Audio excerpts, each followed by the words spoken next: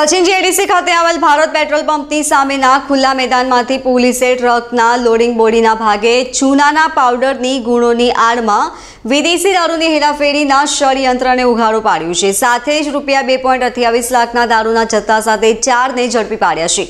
પોલીસે ટ્રક અને ચૂનાના પાવડરની ગુણો મળી કુલ રૂપિયા ઓગણત્રીસ લાખથી વધુનો મુદ્દા માલ જપ્ત કર્યો છે. પોલીસે એક સફેદ કલરની Tata LPS trailer truck number R A ઓગણીસ જીઈ પાંચ હજારમાં દારૂનો મોટો જથ્થો ટ્રેલર બોડીના ભાગે કલરટેક્સ કંપનીમાં ઉપયોગમાં લેવાતો ચૂનાનો પાવડર રાજસ્થાન જોધપુરથી આવ્યો હતો.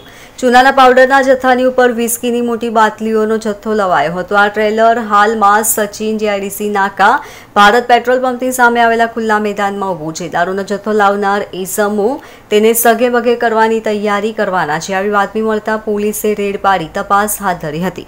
રેડ દરમિયાન પોલીસે ટ્રેલરમાંથી અલગ અલગ બ્રાન્ડની સાતસો પચાસ મિલીની કુલ બોતલો નંગ બસો છોતેર કિંમત રૂપિયા બે લાખ અઠ્યાવીસ હજાર નવસો સાઠની મત્તાનો જથ્થો તથા ટાટા ટ્રેલર ટ્રક રૂપિયા પચીસ લાખ તથા ચૂનાના પાવડરની ગુણો ત્રીસ પોઈન્ટ સોળ ટન કિંમત અંદાજે રૂપિયા એક લાખ એંસી હજાર નવસો સાઠ તથા મોબાઈલ ફોન નંગ ત્રણ રૂપિયા દસ હજાર પાંચસો તથા અંક ઝડતીના રોકડા રૂપિયા અગિયાર હજાર છસો ચાલીસ અને કુલ રૂપિયા ઓગણત્રીસ લાખ બત્રીસ હજાર સાઠની મત્તાના મુદ્દામાલ જમા લઈ આગળની કાર્યવાહી હાથ ધરી છે.